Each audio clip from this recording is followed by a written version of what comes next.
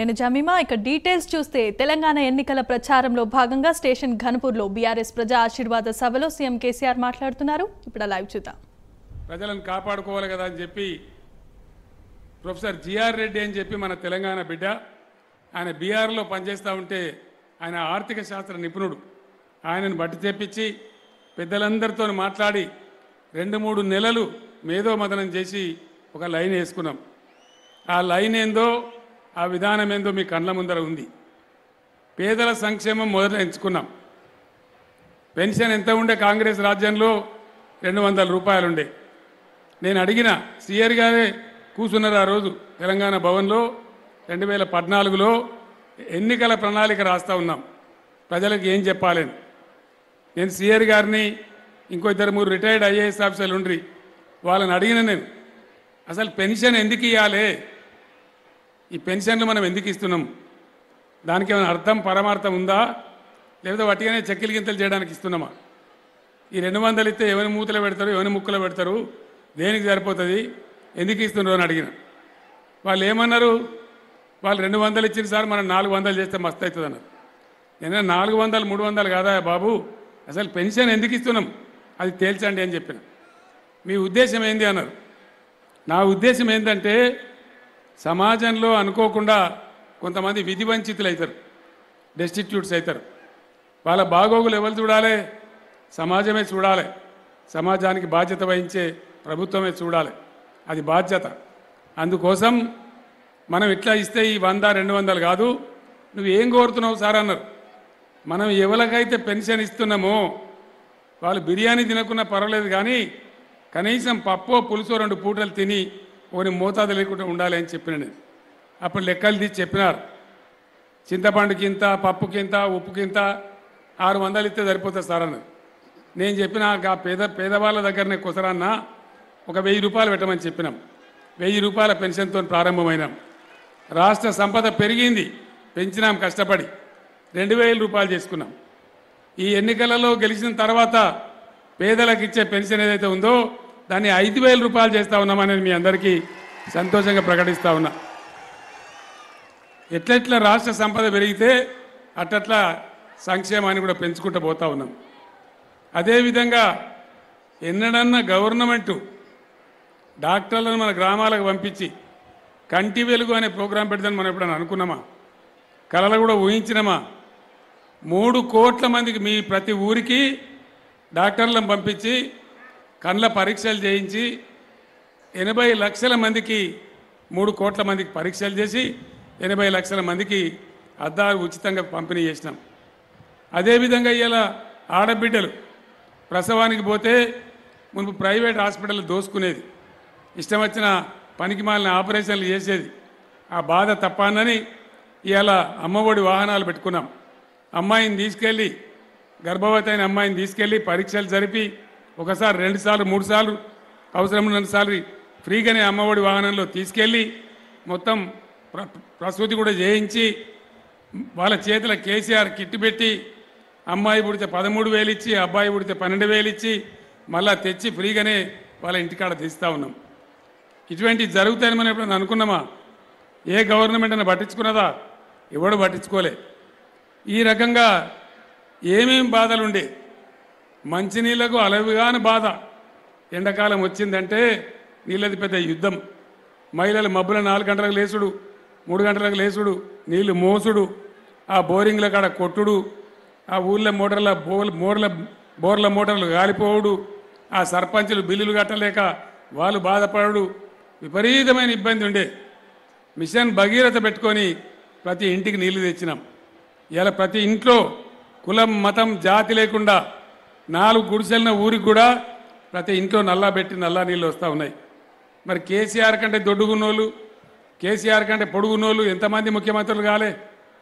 కృష్ణా గోదావరి నడుమ ఉండే తెలంగాణ గడ్డకు కనీసం మంచినీళ్ళు పెట్టడానికి శాత కాలేదా? మంచినీళ్ళు బంగారం కాదు కదా మనం అడిగేది.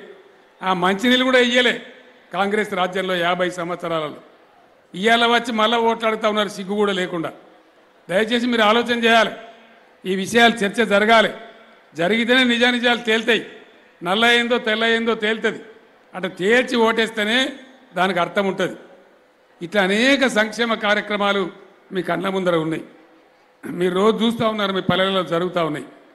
దీని తర్వాత మనం ప్రాధాన్యత ఇచ్చింది వ్యవసాయం. స్టేషన్ గణపూర్ ఎట్లా ఉండే? ఇదే నియోజకవర్గంలో మాణిక్యపురం అనే గ్రామంలో చుక్క సత్తయ్య అని చెప్పి పేరు మోసిన ఒగ్గు కళాకారుడు ఉండే. చుక్క సత్తయ్య గారు పేరు మోసిన ఒగ్గు కళాకారుడు. నీళ్ళు పడకపోతే ఆయన యాభై ఎనిమిది బోర్లు వేసిండు పాపం యాభై ఎనిమిది బోర్లు. ఆ బోర్లు వేసుడు ఎంత బాధ.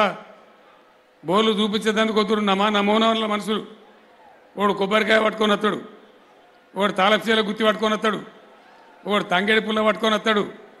ఎన్ని రకాల బాధలు చూసినాం మనం? ఎన్ని అవస్థలు పడ్డాం? ట్రాన్స్ఫార్మర్ కాలితే బాధ అయింది మోటార్లు కాలితే బాధ అయింది చుక్క సత్తయ్య పాపం ఆయన ఒగ్గు కథల మీద వచ్చిన పైసలన్నీ ఆ బోరు పొక్కలనే పోసినాడు. యాభై ఎనిమిది బోర్లు ఎత్తే చుక్క నీళ్ళు రాలే. ఈ చుక్క సత్తయ్య కథ ఇదే నియోజకవర్గం మీ అందరికీ తెలుసు. ఇంత ఘోరం ఉండే స్టేషన్ కనుపూర్లో ఎక్కడ కూడా నీళ్ళు లేకుండే. మన ఎమ్మెల్యే రాజయ్య గారు దేవాదుల అక్కడ పనులు జరగకపోతే ఇదేం స్కీమ్ రా నాయన అని పోయి పిండం పెట్టొచ్చిండు అక్కడ. పిండం పెట్టి ఆనాడున్న ప్రభుత్వాన్ని ది- దిగాల మీరు బేకారగాలని చెప్పి అడగపోయి పిండం కూడా పెట్టొచ్చినాం. ఈ విధంగా అనేక రకమైన బాధలు ఉండే ఆ బాధలన్నీ ఇలా లేవు. ఇప్పుడే శ్రీహరి గారు చెప్పినారు. నేను కూర్చుంటే నాకు రాజయ్య గారు చెప్తా ఉన్నారు. ఒక లక్ష పదివేల ఎకరాలకు సస్యశ్యామలంగా నీళ్ళు బారుతా ఉన్నాయి ఇవాళ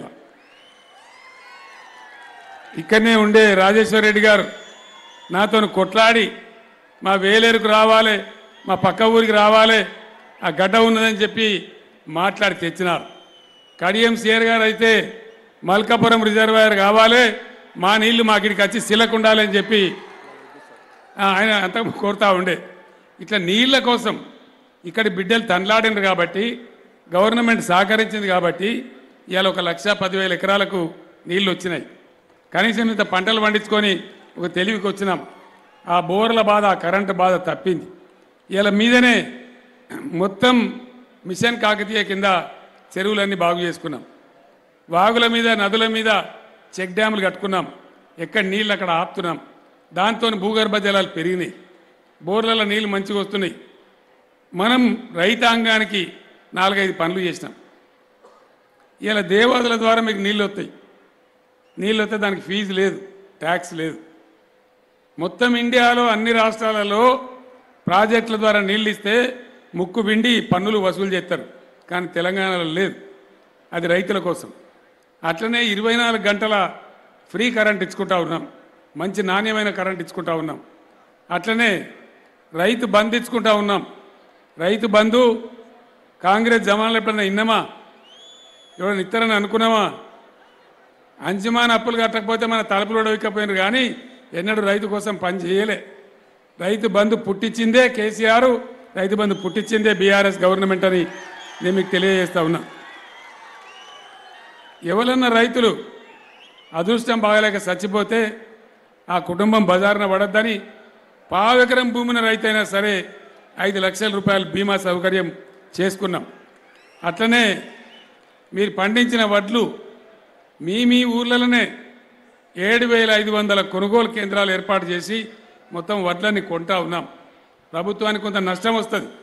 వెయ్యి కోట్లు ఐదు వందల కోట్లు ప్రతి ఫసలకు నష్టం వస్తుంది. అయినా సరే రైతులు మనవాళ్ళు వాళ్ళకి మద్దతు ధర లభించాలని గవర్నమెంట్ కొంటా ఉన్నాం. ఇవన్నీ పెట్టుకున్నాం.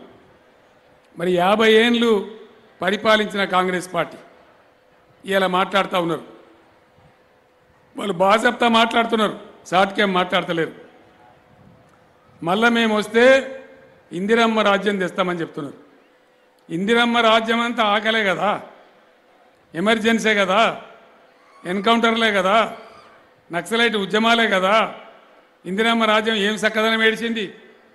మందిని పట్టుకపోయి జైలలో వారేసిండ్రే కదా? మంచినీళ్ళు లేకుండే కదా? కరెంట్ లేకుండే కదా? ఎవరికి కావాలి ఇందిరమ్మ రాజ్యం ఇయ్యాలా?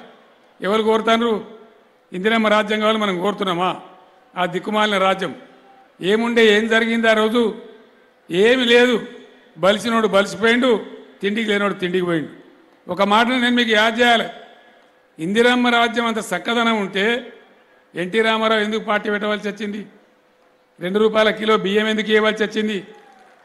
మాడిన కడుపులున్నాయని ఎండుతున్న డొక్కలున్నాయని ఆనాడు రెండు రూపాయల కిలో బియ్యం పెట్టవలసి వచ్చింది. మీ అందరికి తెలుసు.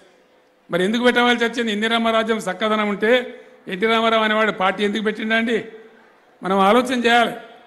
నేను అందుకే ప్రజాస్వామ్య పరిణతితో మీ గ్రామాలలో చర్చించి ఈ నిర్ణయాలు చేయమని మిమ్మల్ని కోరుతా ఉన్నా. ఇవాళ కాంగ్రెస్ నాయకులు చెప్తున్నారు కేసీఆర్కి ఎక్కడ పని లేదు ప్రజలు కట్టిన ట్యాక్సులు పన్నులన్నీ కూడా రైతు బంధు ఇచ్చి వేస్ట్ చేస్తా ఉన్నాడు రైతు బంధు వేస్ట్ అనండి రైతు బంధు వేస్తా? ఉండా రైతు బంధు ఉండా ఇక్కడ కడియంసీఆర్ గెలవాలి. రైతు బంధు ఉండుడే కాదు. కడియం సీఆర్ గెలిస్తే పదివేలున్న రైతు బంధు పదహారు వేలు అవుతుందని చెప్పి నేను మనవి చేస్తా ఉన్నా. అట్లనే పిసిసి ప్రెసిడెంట్ మాట్లాడుతుండు. కేసీఆర్కి ఆడ పని లేదు. ఇరవై నాలుగు గంటలు కరెంటు వట్టిగా ఇచ్చి పైసలని దుబారా ఎత్తుండని మాట్లాడుతుంది అది ఇయ్యద్దట. మరి ఎన్ని గంటలు ఉండాలంటే మూడు గంటలు ఉండాలన్నట. మూడు గంటలతో వాడతాయట ఎట్లా వాడతాయిరా భయ అంటే టెన్ హెచ్పి మోటార్ పెట్టుకోవాలన్నట. ఏమో దగ్గర రైతు దగ్గర టెన్ హెచ్పి మోటార్ ఉంటుందా? ఉంటుందా? మా అయితే నూట్ల కోట్లకు ఒక దగ్గర సెవెన్ అండ్ హాఫ్ ఉంటుంది. కడమ అన్నీ కూడా మూడు హెచ్పి ఐదు హెచ్పి ఉంటుంది మన దగ్గర. ఐదు హెచ్పి లాస్ట్. అంతే కదా? మరి టెన్హెచ్పి మోటార్లు కొనాలి. పంపు సెట్లు ఎన్ని ఉన్నాయి తెలంగాణలో? ముప్పై లక్షలున్నాయి. ముప్పై లక్షల పంపు సెట్లు మారాలి పది టెన్హెచ్పి కంటే ముప్పై వేల కోట్లు కావాలి. మరి అవే పెడతాడు ఈయన అయ్యిస్తాడా లక్ష రూపాయలు అవుతుంది ఒక్కొక్క మోటార్. ఏడుకెళ్ళి రావాలి ఎప్పటి తేవాలి? అంటే మేము వస్తే ఇదే పని చేస్తాం. మేము మూడే గంటలు కరెంట్ ఇస్తాం. కేసీఆర్ వేస్ట్ చేస్తుండమని మాట్లాడుతున్నారు ఇది కూడా మీరు చర్చ చేయాలి. వాళ్ళు కుల్లా చెప్తున్నారు. ఒకసారి కాదు రెండు సార్లు మూడు సార్లు టీవీలలో చెప్తున్నారు బాజాబ్తా మా విధానమే అది మా పద్ధతి అదని చెప్తున్నారు. ఇంకా పెచ్చుకు ఒక ఆయన కర్ణాటకలో వచ్చిండు పెద్ద మనిషి. అక్కడ ఉప ముఖ్యమంత్రి అట. ఆయన చెప్తుండు కేసీఆర్ మేము ఎంత గొప్ప వాళ్ళమో తెలుసా? వ్యవసాయానికి ఐదు గంటలు కరెంట్ ఇస్తున్నాము అన్నాడు. నేనన్నా సన్నాసి నా కొడుక మేము ఇరవై నాలుగు గంటలు ఇస్తున్నాంరా నీ ఐదు గంటలు ఎవరికి కావాలి? ఐదు గంటలు కూడా వచ్చి ఇరవై నాలుగు గంటలు చెప్తాడు ఎవడన్నా? ఇగో ఇది దేంతో నవ్వాలి మనం ఇప్పుడుగా?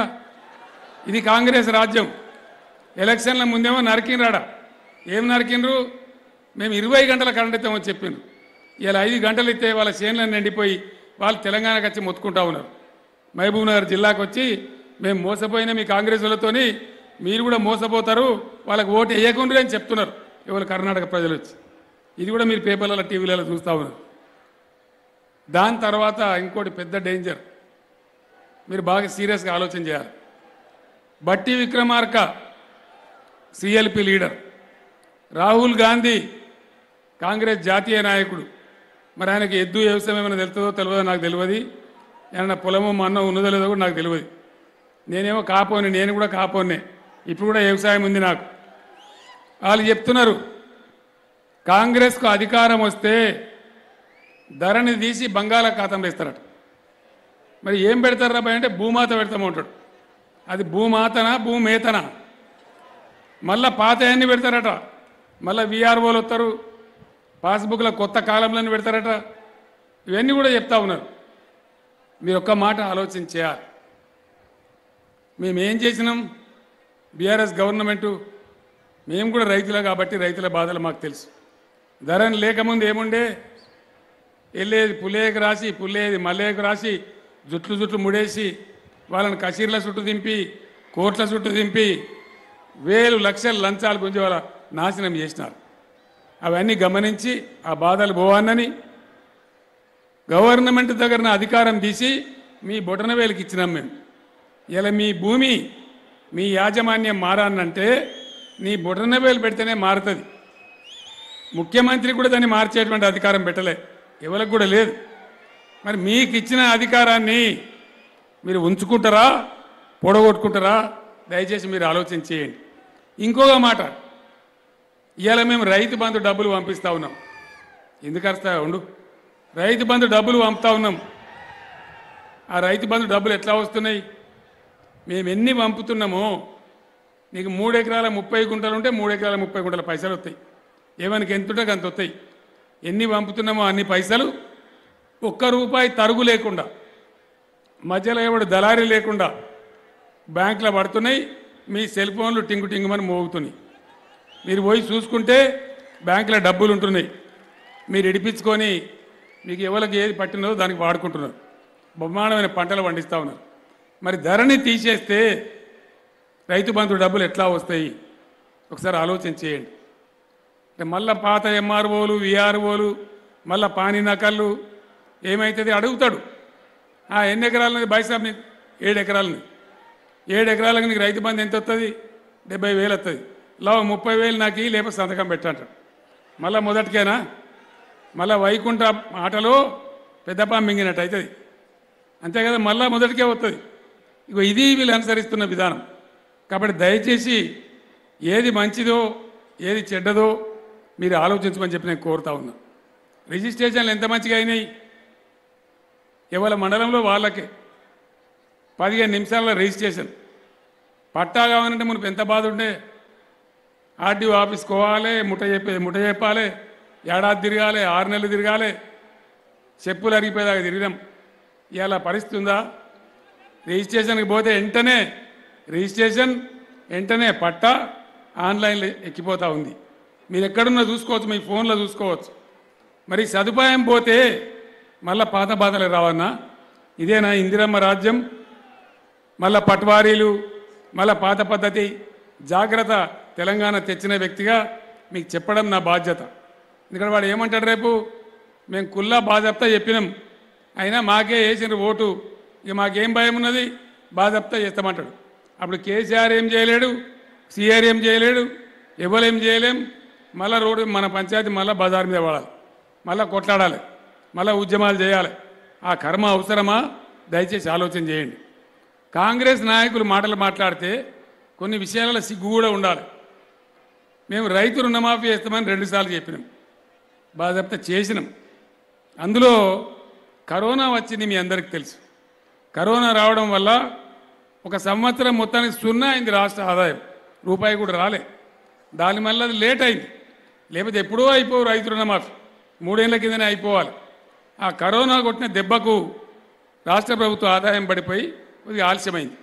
మొన్న చేసినాం అయిపోయింది. తొంభై పర్సెంట్ అయిపోయింది. ఏనుగు వెళ్ళింది తోక ఎక్కింది లక్ష రూపాయల దాకా అందరికి అయిపోయింది. లక్ష రూపాయల పైన ఉన్న వాళ్ళకు నాలుగైదు పర్సెంట్ మందికి మిగిలింది. అది ఇయ్యమా మేము? దాన్ని కూడా ఒక ఇష్యూ ఎత్తారు ఇలా కాంగ్రెస్ వాళ్ళు వచ్చి. వాళ్ళు అడ్డం పడ్డది ఎవడు? దానికి అడ్డం పడ్డది కూడా కాంగ్రెస్ వాడే. ఎలక్షన్ కమిషన్కి ఫిర్యాదు చేసి ఇప్పుడు ఇయ్యద్దు అని చెప్పి ఆపేసింది. మళ్ళీ బజార్లకు వచ్చి ఇక కాలేదు రుణమాఫీ అని మాట్లాడతారు. సిగ్గు కూడా ఉండాలి కదా. నేను అందుకే చెప్పింది ప్రజాస్వామ్య పరిణతి అని చెప్పి. హండ్రెడ్ పర్సెంట్ వాళ్ళకు కూడా ఇమీడియట్గా ఇచ్చేస్తాం. దాని గురించి అసలు ఆలో